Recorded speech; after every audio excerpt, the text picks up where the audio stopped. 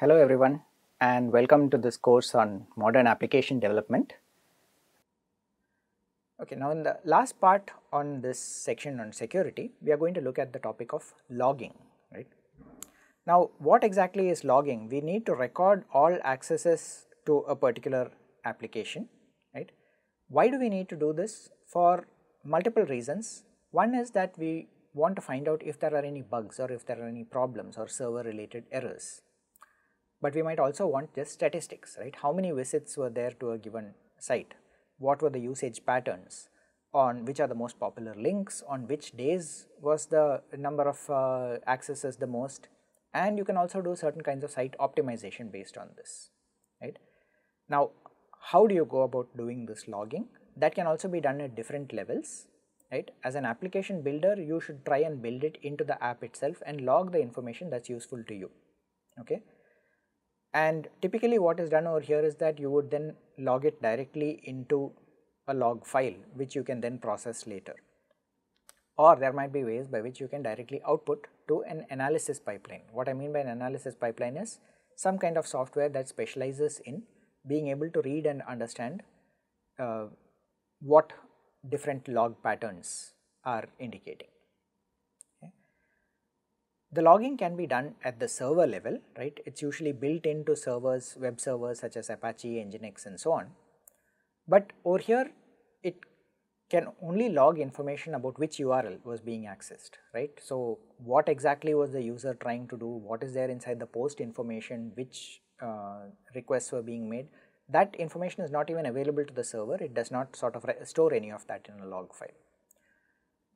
It is useful in order to sort of indicate certain kinds of security issues, especially security attacks. If you find for example that there are a large number of requests in a short duration or if there are malformed URLs, right, things which are obviously not correct requests that are coming to your server, they might be attempts to try and break your server in some way, right, maybe an SQL injection or some other kind of thing which is trying to break your server. On the other hand, you as an application developer can do your own logging, right? And the Python logging framework is something that can be used very efficiently for this. It can provide multiple different outputs. It can either write into a file or it can create so-called stream outputs which can be used in order to maybe even send information out over a network connection to a remote server if needed.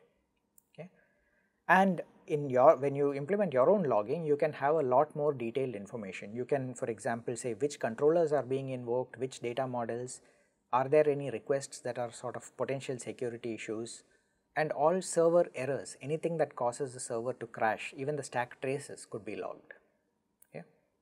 and ideally should be logged so that you have a better way of sort of handling such problems. So, this is an example of what a log file might look like right. I mean this is just a log that comes up for example when I run using the flask run command on the gradebook example right.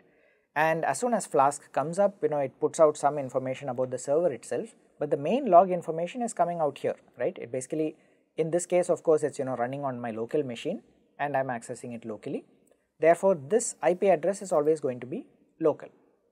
It gives the date and time when the access happened, it also gives the HTTP verb, the URL, the version and the status code, right.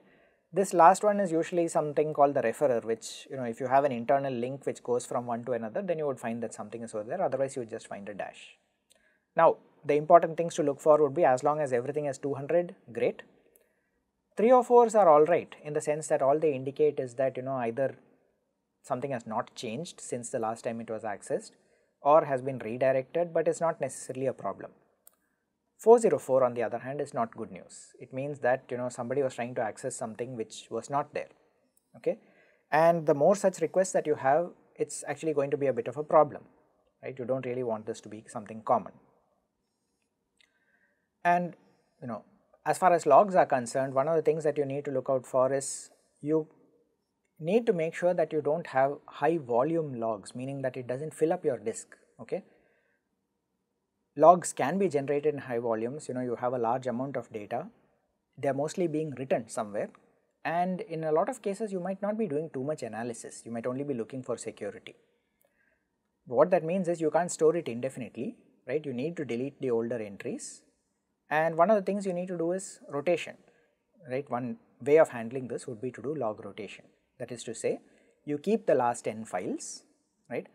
Delete the oldest file, rename all the intermediate files and take the most recent one and rename it as a dot one file or something of that sort so that you can now create a new file. It basically uses a fixed amount of space on the server and you don't run into space problems eventually. In case you are using a custom application engine, something like Google App Engine, they have their own logging mechanisms, right, and can generate custom logs and customized reports. And in a lot of cases can also do automated security analysis. And in case you do plan to run on some kind of a framework like that, you should definitely make use of those facilities.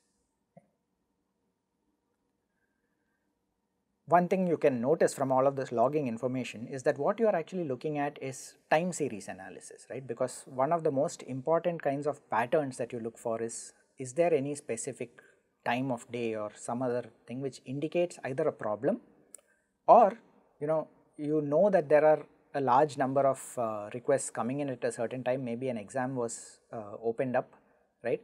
And how is the server performing under those conditions so, you have time series data, the every uh, piece of information has a timestamp associated with it, which means that certain kinds of databases like RRDtool or InfluxDB are probably the best way to store and analyze such information. So, to summarize, having good security is the key to having a successful application, right? You cannot afford to have security problems because it will definitely impact how you are going to work. Implementing good security does require a good understanding of principles of various things such as cryptography and also something about you know SQL and operating system level vulnerabilities. You don't need to be an expert, but you at least need to be aware of the concepts over there. In general, one relatively safe option is to always go with good known frameworks, right?